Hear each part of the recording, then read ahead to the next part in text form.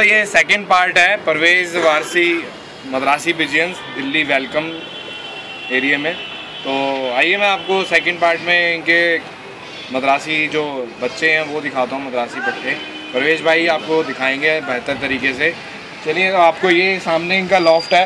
Basically ये जो terrace है, यहाँ पे सिर्फ़ उड़ने वाले कबूतर रहते हैं। और गुड्डू साहब की पार्टी में उनके जितने भी शगिर्द हैं, वहाँ सॉरी वहाँ पे ये, यही आपको कलर कोड मिलेगा ब्लू कलर का। तो ये खासी पहचान है इनके दड़बों की। तो ये लॉफ्ट है पूरा ठाटर ठाटर बोलते हैं दिल्ली में इसको but this is basically a जाल ऑफ़ फ्लाइंग बर्ड्स यहाँ पे अंदर जो दो पोर्शन है, दो खुडे जो हैं, वो मेल और फीमेल के लिए हैं। तो एक दिन मेल खुलते हैं, एक दिन फीमेल खुलते हैं। या जब भी एक साथ उड़ाते हैं तो यहाँ दाना पानी सारा होता है। आप भी अगर बनाएँ तो मद्रासियों के लिए ऐसा सा ही कुछ लॉफ्ट बनाएँ, बेहतर। आपको नीटू भाई मद्रासी पिजन में भी दिखा चुका हूँ, नीटे भाई मद्रासी पिजन में भी दिखा रहा हूँ। बहुत बेहतरीन जाल हैं उनके। तो दोस्तों ये हैं पट्टे इनके घर के जो उड़ाते हैं यहाँ से।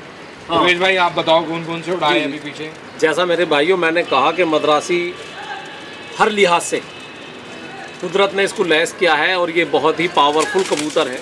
उसकी मैं आपको ये पहचान दिखाता हूँ कि पावरफुल है किस तरह से। ये पकड़िए साहब कमल जी। देखिए पिछले पंद्रह दिन पहले जो दिल्ली में कप उड़ा था लमसम दिल्ली चैंपियनशिप के हिसाब से वो कबूतर कप उड़ा था जिसका फ़र्स्ट इनाम बाइक था। तो ये इतफाक़ था कि कुदरत ने मुझे इज़्ज़त दी और ये मेरे उस्ताद की दुआ मेरे साथ थी और उनका ट्यूशन। हमेशा मेहनत मैं करता हूँ करते बाकी सब कुछ मेरे उस्ताद जनाब गुड्डू भाई पे। सब उनकी गाइडलाइन पे होता है। तो ये बच्चे उस दिन उड़े थे। अब से पंद्रह दिन पहले मैंने ये बच्चे उड़ाया था आप देखिए। ये देखिए आज मैं पंद्रह दिन बाद आपको दिखा रहा हूँ जबकि ये उस दिन चार बावन पे बैठा था जबकि उस दिन का टेम्परेचर तकरीबन इकतालीस बयालीस के करीब जा रहा था। इकतालीस बयालीस थोड़ा नहीं होता हाँ। टेम्परेचर तो उस दिन ये बच्चा पंद्रह दिन बाद मैं आज दिखा रहा हूँ तो आप देखिए आज इसने अब एक पर गिराया हुआ है। जब ये बिना कली का था ये माँ बापों से लमसम समझिए कि दाना लेता हुआ ऊपर छत आया था और एक हफ़्ते के अंदर ही अंदर इसने उड़ान करी और इतना अच्छा उड़ा बहुत अच्छा। और उसमें मेरा फ़र्स्ट इनाम आया भी था। इसी तरह ये मेरे बच्चे जो मेरी अपने घर की नस्लों के कबूतर हैं, और ये सब मेरे उस्ताद गुड्डू भाई हैं, वो बनवाते हैं सब कुछ। उन्हीं के डायरेक्शन में, उन्हीं के उससे के भाई जोड़ों में क्या पढ़ना है, क्या नहीं। ये मैं दिखा रहा हूँ आपको, और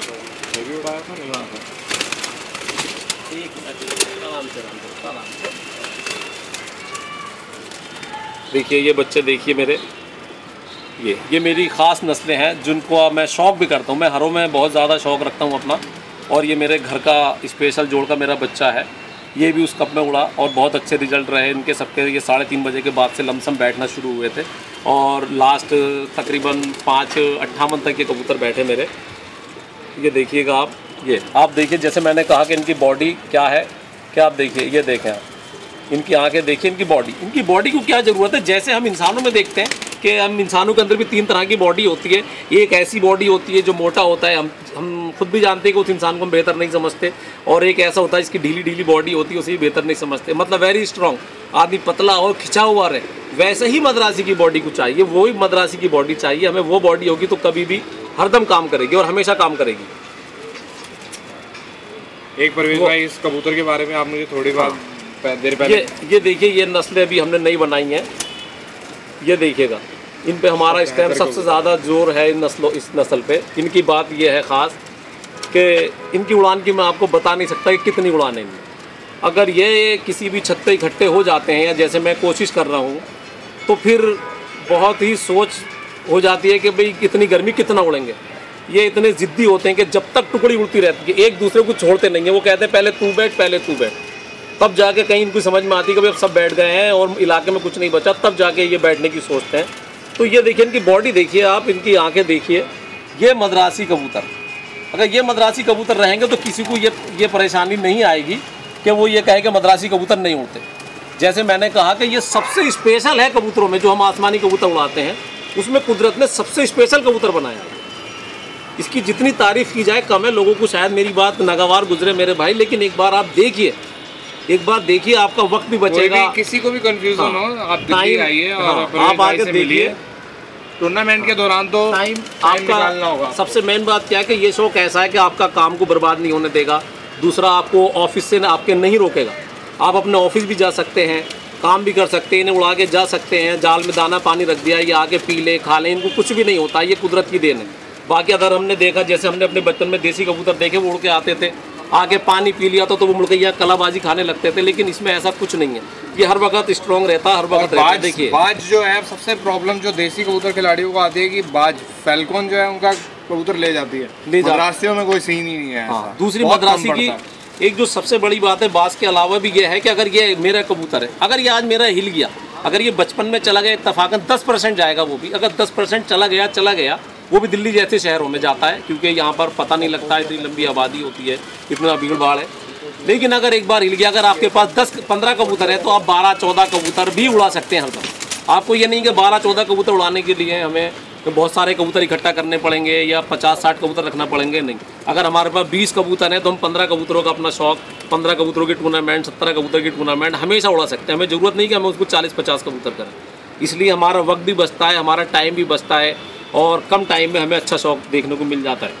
दोस्तों, देखो, मेरे को तो मद्रासी इतने अच्छे उड़ाने नहीं आते क्योंकि मेरे पास वक्त भी नहीं है। दूसरा कि इतना टाइम निकालना और कॉम्पिटिशन्स में जाना, क्योंकि अभी लाइफ को सेटल करना है तो इसलिए इस चक्करों में बहुत कम हूँ क्योंकि हाँ वीडियोस ज़रूर बनाता रहूँगा आप लोगों नहीं नहीं नहीं रूबरू मैंने जैसे कहा कि शौक दो तरह के आप जो शौक कर रहे हैं तो ये बहुत। भाई बेहतर आपको बता सकते हैं मद्रासी के बारे में। लोग मुझसे पूछते हैं मद्रासी कैसा उड़ता है क्यों कितना उड़ता है मैंने तो अपनी आँखों से देखा उड़ते हुए शाम शाम तक उड़ते हुए लेकिन जो बंदे पंजाबी पालते हैं देसी पालते हैं अगर वो एकदम ले जाके मद्रासी रखें तो उनके लिए उनको समझने में थोड़ा वक्त उनको देना होगा।